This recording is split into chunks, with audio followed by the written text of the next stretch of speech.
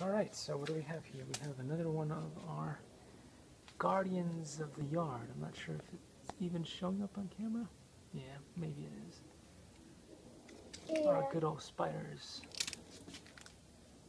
They take care of our yard and make sure that all the pests That thing over do there. not touch it, do I not know. bother it. It's so cute. I know. It has Yeah, a bunch of eyes. That's the gross thing. I don't like it. You don't like you don't like when things have eyes? I like it when things have two eyes. But I don't like it when they start having like four, six eyes, eight eyes. Anyway, it's a very nice spider. Thanks for protecting our yard. Likey